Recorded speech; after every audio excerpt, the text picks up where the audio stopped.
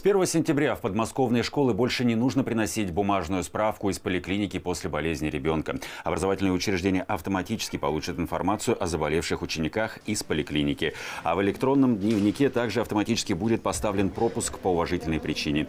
Данные на сервисах планируют обновлять каждые 30 минут. Отмечу, что такая функция доступна только для государственных медицинских учреждений Московской области.